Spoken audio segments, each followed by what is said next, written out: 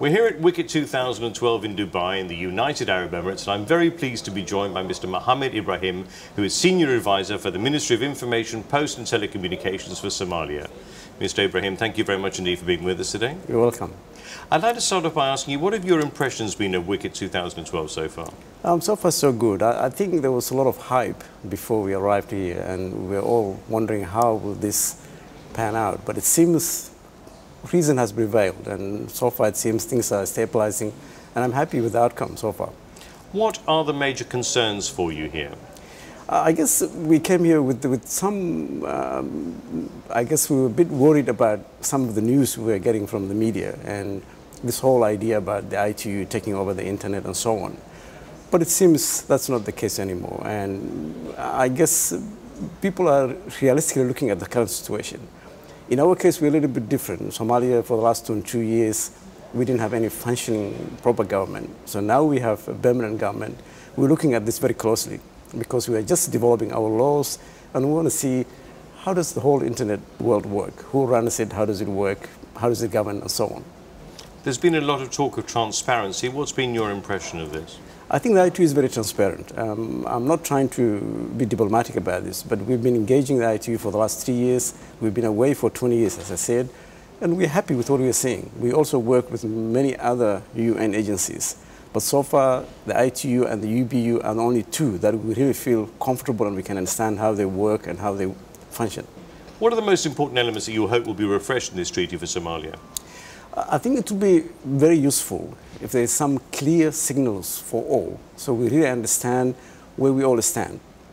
Uh, the, the, area that we're more interested is how is the internet governed in general? And I think that's what we're hoping. I want to go home and sit with my government ministers and say, this was the outcome. And I can explain in clear language what was the new treaty and how it was developed. I was in Melbourne, as it happens, in 1988.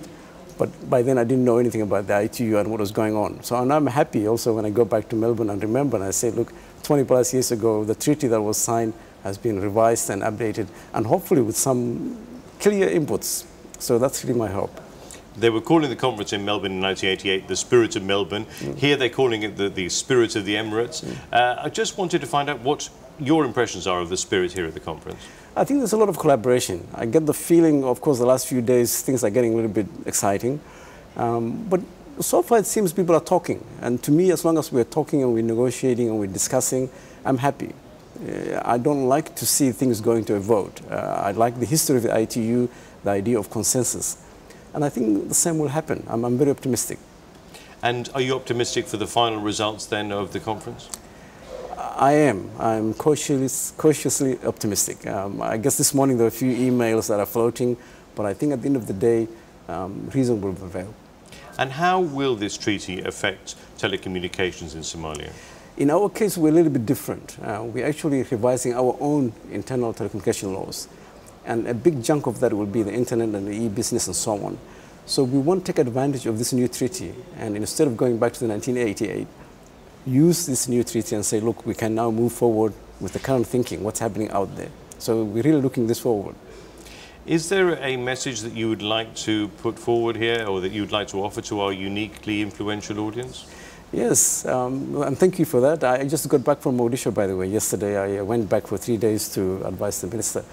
And we are back. We were away from the ITU, we were away from many UN agencies. Now we're back. Somalia is back. So the message is, first of all, to all the members, now we're ready to do business again, but also to the private sector. Somalia is booming. The telecommunication industry is one of the fastest growing industry, in fact, in Africa. So the time is right. And I'd like to talk as many people as possible here and pass the message to everyone. And through you also, thank you very much. I would like to let the world know that Somalia is back. Mr. Ibrahim, it's been a pleasure having you here. Thank you very much indeed for your participation today. You're welcome. Thank you.